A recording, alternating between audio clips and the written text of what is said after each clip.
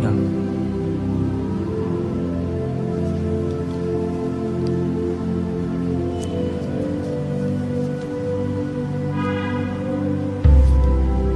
đau không thắng?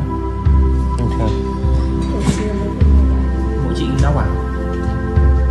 Thế. Mỗi chị in đau hả? Không ăn thua hả? Không hợp lý thường mà nó đau không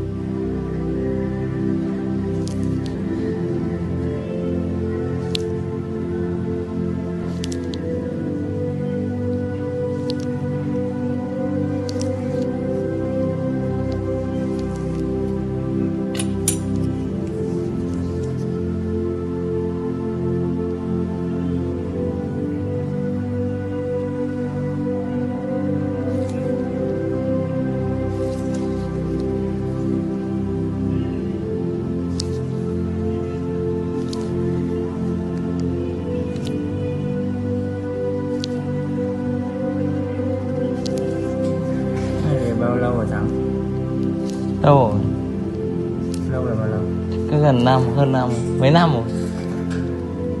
Năm bữa đi lên bệnh viện là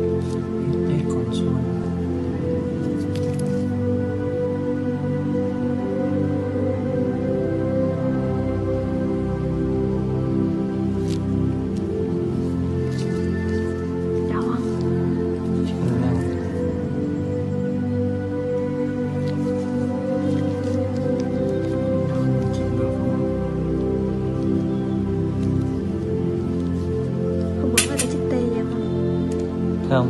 Dạ, Hạng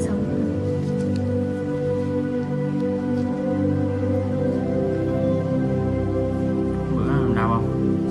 Không, bình thường. Và chịu được. Người ta chỉ nặng thôi gì chứ người ta đâu có cắt bọc đâu. Ừ.